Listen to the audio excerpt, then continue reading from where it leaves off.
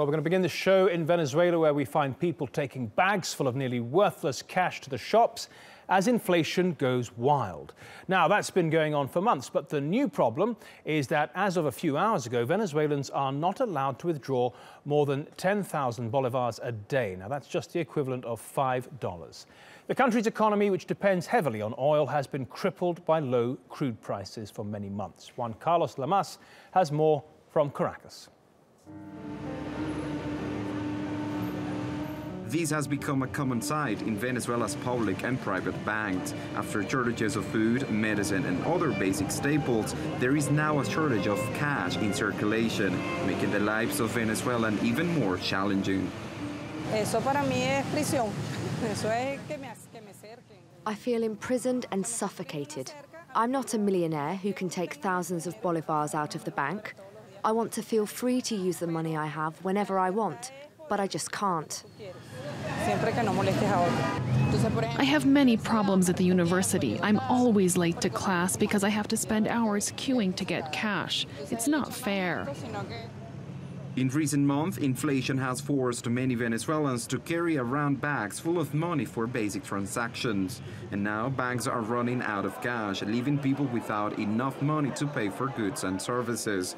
In response, President Maduro's government is printing currency in larger denominations. But experts say this is not the answer.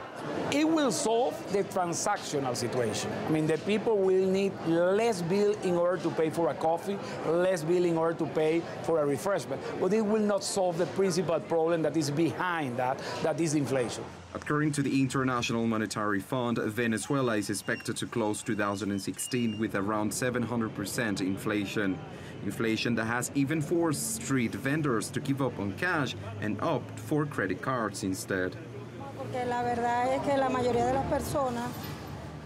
Most people don't have cash, first because it's not safe, and second because food prices are way too high.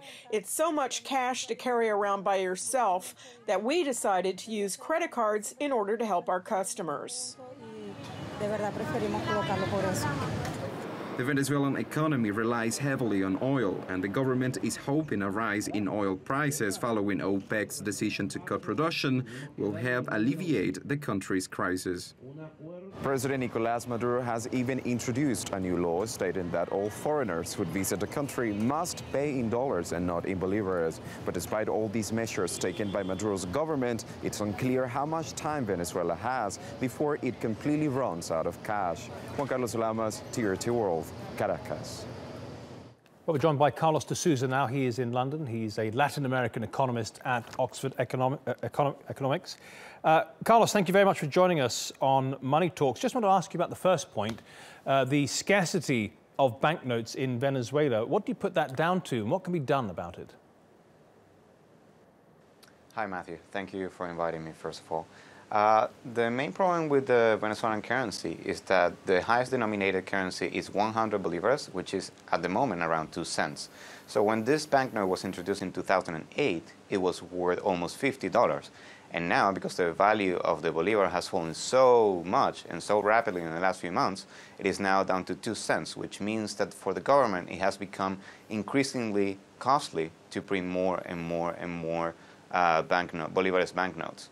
Okay. Uh, and the government has refused until now to increase the denomination of the banknotes. In a few months, we will have new banknotes up to 20,000 bolivars. This will help alleviate the problem of scarcity of banknotes, but it will only be a temporary solution as inflation is so high and increasingly high. In, I would say in one year from now, we'll be in the same place we're uh, right now. Carlos, that is, the that is the fundamental problem, is the inflation then. Uh, what would you advise the government to do to bring inflation down? Yeah, that is correct. So the main problem with inflation is that we have a central bank that is not independent.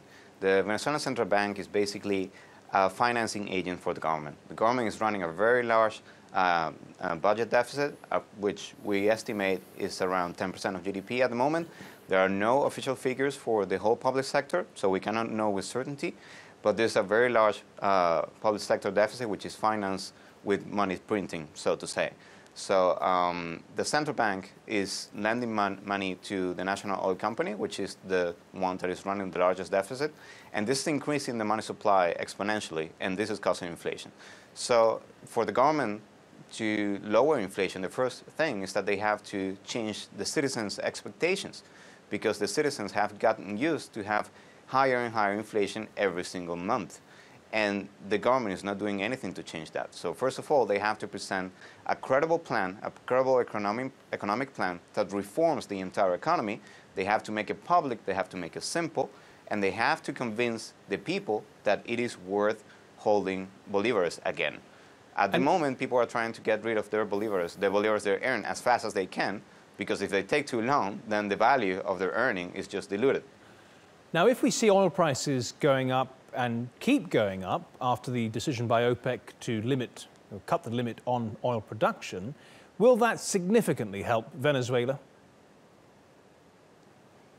It will help a little bit, but not very significantly. Not to the extent that the Venezuelans will have an improved quality of life, uh, quality of life that have deteriorated so much in the last three or four years.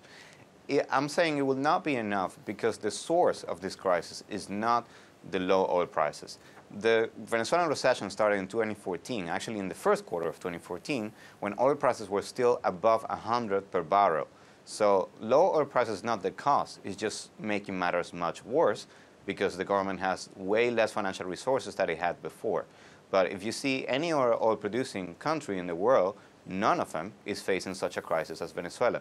The source of the crisis is economic mismanagement and an economic model that simply doesn't right. work. Uh, thank you for that, Carlos de Sousa. It clears up a few things for us. Appreciate it.